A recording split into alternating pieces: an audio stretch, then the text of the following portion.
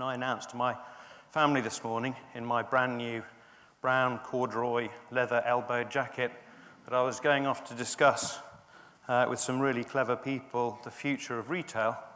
My wife asked me why I was dressed like her dad. my youngest daughter, however, said I looked really cool. and there's quite an interesting insight into that because you've got one generation who can remember Open University in the late 70s. and you've got another generation that's never lived without the internet and the technology that we'll reference in some of this presentation. The growth of farmers' markets, of butchers, of fishmongers on the high street, which you might be surprised to hear about, hopefully, so you've seen some of this is phenomenal in this technological uh, age. And whilst we, um, you know, we need to recognize the sort of, you know, huge opportunities with technology. A lot of my um, view about the future of shopping is that the technology that we have at our fingertips and that's being de developed by some of the very smart folk that we've heard speak earlier um, is a facilitator, not necessarily a game changer in this context. I worked in the, uh, the dot-com, the sort of first really big bubble in the late 90s, And, uh, and we were forecasting to brands like Nestle and Burger King and Unilever and Procter & Gamble that by 2005, the high street wouldn't exist. Everything would happen on the internet. How wrong we were. And we mustn't confuse the problems that we're seeing on the high street, the store closures from Arcadia, the challenges that some of the more ubiquitous retailers are having with a future trend they're much more to do with the economic challenges that we're facing at the moment. Now, shopping, we all do. I was going to do a everybody put your hands up if you've been shopping in the last few days, but there can't be anybody in here that, that hasn't been shopping. We spend over a third of our income in shops, online and offline. In the UK, um, uh, last year we spent 300, uh, or the thick end of 300 billion pounds um, through retail challenge, uh, channels. And the definition, which uh, comes from Wikipedia, uh, or part of the definition, is quite interesting because it is all about the selection and or purchase um, of, of goods. And importantly, and in some contexts, it is considered a leisure activity. And I think in the context of technology and online environments and trying to do everything from our homes, uh, these things need to be considered we need to recognize that successful retail must be relevant to shoppers' needs. And in this slightly polarized example, you might consider that the original shoppers, hunter gatherers as we used to call them in retail marketing circles, probably wouldn't have considered Tesco, home delivery, and click and collect as a useful tool in the armory. We shop for what we have to have, our food and the stuff that keeps us alive. And we shop for the stuff that we like to have or we need. And critically, and a very big part of retail and the experience that we get from retail is the stuff that we shop for that we aspire to. These great, big, scary, but beautiful brands that we think change our lives. And when we shop, we sometimes shop for ourselves, we sometimes shop for our families, and sometimes we shop for others, think gifting. And the reason why I'm talking to you about these blindingly obvious observations in this is that all of these things impact on how marketers and retailers and brand owners will perform better in the future. Some retailers, the smart ones, are the ones that recognize the shopper need or who's doing the shopping, and they demonstrate a benefit to that shopper. This is a, something I saw in a market. I wouldn't say it's cutting edge retail, but it's quite an interesting uh, observation um, that I saw in India. Now, price is what, if you ask any shopper, what's the most important thing for you when you go shopping, they go, price. It's all about price. It's all about the value um, which they associate with money off and half price deals and buy one, get one frees and buy three for this and two for that and all the rest of it.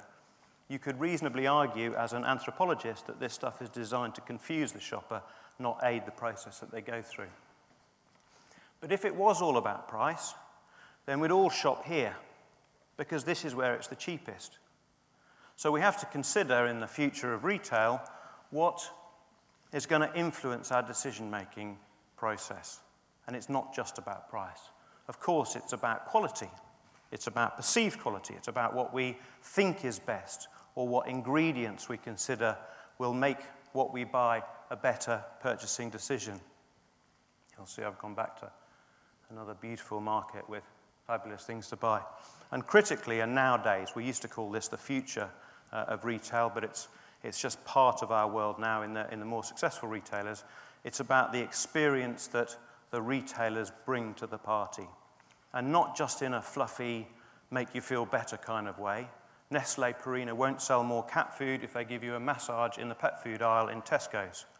However, Apple sell loads more gear because they let you engage with the product and they let you see other cool people playing with the product. They make you aspire to it as well as demonstrate the benefits of the stuff that they're selling. And it's what we call the value equation. And the value equation is the balance depending on who the shopper is, whether they're buying for themselves or somebody else, what their purchasing desires and needs are, the balance between what price you pay, what level of quality or perceived quality is, and what experience you get along the way. And a good experience might be a get in and out quickly. It might be just a simple convenience experience. But other times it might be retail theatre and the excitement that they bring to the party. Now, shoppers themselves, us, and all the other people up and down the country and around the world have changed beyond recognition in the last 20 years. We used to all get profiled by social demographic profiling. We used to be rich or we used to be poor, which is the sort of slight generalization of that very scientific way of profiling people. But now we've become a nation of smart shoppers. We've got shoppers who shop here, but they also shop here. We've got people going and buying their fruit and veg in Waitrose or their meat because of provenance and because of the service that they get, because of the treat, because it's a special occasion they're buying for, but they're buying their commodities in the store. And the really smart ones are not just going to Waitrose for their fruit and veg and Tesco's or Asda for their commodities. They're going to Lidl to buy their Parmesan because the Parmesan is the same gear in Waitrose, but it's £7 a kilo less. Now, we can't ignore the internet. You might think I'm a bit old fashioned in my brown corduroy jacket not giving it a mention. Um, we've seen so many presentations about the growth of it, about the, the, the scale of the engagement with the internet. Um, it's, it's been extraordinary, and in most of our lifetimes, we've seen it go from zero to nearly 100% of people that are either online or have been online or have access to online. Um, there was a, a, situation, I'm not just going to talk about my family all, all, uh, all through this session, but my daughter was um, on her mobile phone the other day, and um, she was, no, no, she was on the landline like that the other day, but she was on her mobile phone like this, and she was on Facebook um, on the computer, um, which is quite alarming. More alarming because she was talking to the same person through all of these different channels. but, but the point is, is that she has a community of people that are only used to communicating in this way. And despite what um, Susan Greenfield was saying this morning, and I share her concerns about this FaceTime um, in front of screens, um, they are more social. We used to just be able to talk to one person or send them a postcard.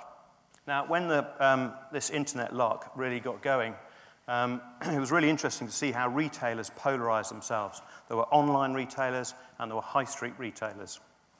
And the online retailers said in their advertising, we beat high street prices. And the Richer Sounds, in this particular case, a consumer electronics retailer, said internet beating prices. So you've got this battleground all about price again, not about the experience. What's interesting to observe just doing the sort of research on this thing um, the other day was that Richer Sounds have bought Empire Direct and they're now in bed together. We use the internet for comparing.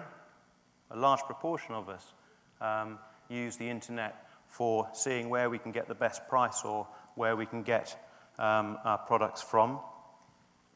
We use recommendations. Peer recommendation online is uh, nearly twice as powerful as advertising as um, uh, getting recommendations towards uh, products and brands. and some 67% of people online buy on recommendation. so using technology to kind of enhance this process feels like the way forward. This is uh, um, from Westfield where there's a, um, a, um, a, camera set up where you can try on, you don't actually try on clothes, but it tries clothes on you, and you can then send pictures of you in a new outfit from a, from a particular fashion retailer to your friends to see whether they think you look good in it before you then make the decision. Here's a very traditional retailer, department store, who have created a concept store uh, up in Aberdeen that doesn't have any product in it at all. You can go to House of Fraser up there and sit in a lounge area, be given a nice cup of coffee, and browse on their iPads and their computers to buy your merchandise in the comfort of their store. Go figure. Um, this, not the most exciting picture of uh, retail best practice, but I don't know if anyone's seen this. This is Amazon's new initiative. Biggest barrier to um, the uh, challenges of, of uh, the likes of the Amazons of this world is that no one's at home to deliver the goods to. So they're putting kiosks in places like 7-Eleven and in office environments so that you can buy your stuff, they will deliver it at night, so it's cheaper. And when you swipe your receipt, a little box opens and there's your product. So there's some really imaginative ways round some of the challenges that retailers are faced with. And, you know, mobile commerce, m-commerce, um, I mean, it's really exciting. The kind of app explosion on Android and Windows and, uh, and iPhone is extraordinary. You can go and pay your bill directly from your iPhone. You can scan your products um, in your fridge or the empty packaging as it um, runs out, compile a shopping list, press the button, and Tesco's will bring it round a few days later. And there are even the sort of the, the scannable items around promotional activity where you can scan a QR code and get a, in this case, absolute branded experience. I should note, at the risk of sounding slightly cynical, that in the beer, wines, and spirits aisle, which is always at the back of the store, it's very rare that you can get a 3G connection. So just to sort of summarize on, on um, some of the sort of, you know, internet usage and, and, and put this into context, 60% of shoppers who use the internet use it to find a shop. 35% use it to research what to buy. 22% research where to buy it from, comparison sites and that sort of thing. And only 16% forecast this year, it's just been downturned from 18% down to 6%, uh, 16%, are actually making a purchase online. Now, going back to my demise of the retail high street in 1999, you could suggest on that basis that the internet's been an abject failure. Of course, we don't think that but understanding the role of it going forwards and the role of online and technology and everything is going to be critical. Are we going to see the end of bricks and mortar? No, I don't believe we are. Are we going to see a radical change in the way people shop? Yeah, I think we will. But we mustn't forget the fundamental barriers. Remember last Christmas? Lots of people didn't get their Christmas presents. That 16% that might have been 18% might be the ones that aren't going to buy their Christmas presents online this year because the stuff couldn't get delivered. So, what we're hopeful for, and this is my big idea to get judged tonight, is the teleportation device. I don't know if any of you can remember Star Trek. Wouldn't it be great if you could sit in the comfort of your own home and have your products materialize in front of you, choose them, send them back if you don't want them, get them brought to you uh, if you do? What we will see in the future is a more complex value equation. And it will need, it's, it's more complex because it needs to understand the different customer needs. It needs to understand what's more important to people along what we would call the path to purchase. And, and there are different sort of elements. So there's a kind of, we, we talk about multi-channel now as the kind of future of retail. It really is. It's the combination of mobile commerce and online and the store experience. And price, of course, will always be about discounts and promotions and loyalty and offers and that sort of thing. Quality will more and more become, become um, about the ingredients and provenance, where the stuff came from, its ethical proposition um, in terms of how it got there in the first place. I mean, there are, there are food brand owners, um, the likes of which Kraft and Unilever, who are saying that health might be the new price in future. People will make purchasing decisions based on what is ethically or healthily a better choice. And we're seeing some of that anyway with you know, salt levels and health uh, levels and what have you. And then, of course, the experience. And the experience will come in the form of better service, it will come in the form of greater convenience, um, and it will come in the form of entertainment, retail entertainment. And there are some good examples in real live retail environments. Um, we, you know, we can now, we don't have to go to any shops ever again. Um, we could do everything from the comfort of our home, but we do, and we like doing it, and it's a social thing. Sometimes we like to moan about it. But stores where you can go and buy by the kind of ingredient levels, this is a, a shop in Germany where you can go and buy the bits to make up one meal that is costed. There are retailers that are doing, teaching you how to do the DIY for when you do the DIY. There are stores, as we know already, where you can go and engage with product and play with it and really get a sense of how useful it will be in your life. There are stores with ice walls in, so you can go and try out the outdoor wear and uh, experience the product before you go. This is going to be the role of internet in the future. You've got the likes of Morrison's creating pop-up restaurants in Soho to trial their premium ready meal products. You've got, and this again has been well documented, but you know, the, the, the, the ability to do your shopping via a QR code system, a bit like Tesco Home Plus are doing in that bus stop that we saw earlier, to do your shopping in your lunch break. And I'm going to, um, uh, just before I quickly sort of summarize this, that this, this, is, this is going back to the kind of point about relevance. Um, it's becoming harder and harder to imagine a world without the internet. Um, it's become our marketplace, it's become our playground, it's become our collective memory. And fascinating statistics like more two to five year olds can play on a simple application than can tie their shoelace. Twice as many in this study that was done. Um, and, you know, even as far as Entertain your cat, Friskies brand created an app. I spent the best part of Wednesday evening trying to get my cats to play this um, and, and being relevant to shoppers and, and, and ensuring that, you know, the important retailers aren't uh, putting forward pointless innovations whether it's getting fit virtual beer top opener, um, measuring how um, your uh, performance in bed, or not, as the case may be, um, is. So I'll leave you with three, in my view, uh, points on, on, on what I think the future of shopping is. The high street will not go away, but its role will change. Shoppers will continue to get smarter and will embrace multi channel offerings and multi sensory offerings as part of their purchasing process. And the winners of those will be those who cater for those shoppers' needs best and develop relationships with them, as Paul was saying, in the kind of branded relationship. Thank you very much.